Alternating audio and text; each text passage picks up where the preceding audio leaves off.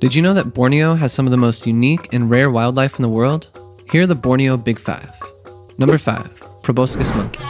This monkey has a large human like nose and is endemic to this island. Number 4. Pygmy elephant. At a max height of 10 feet or 3 meters, these are the smallest Asian elephants. They enjoy eating tall grass on the riverbanks. Number 3. Hornbill bird. With an average wingspan of 1 meter and colorful beaks, these birds can be seen flying around. Look for trees with ripe fruits for the best chances to spot them. Number 2. Estuarine crocodile. These deadly beasts can be found along rivers, such as the Kinabatangan River, as well as mangroves. They can reach 20 feet or 6 meters in length. Number 1. Bornean orangutan. This is one of our favorite animals. Humans actually share about 97% of DNA with them, which explains why their behavior is so human like. For more information and places to visit, check out our YouTube channel.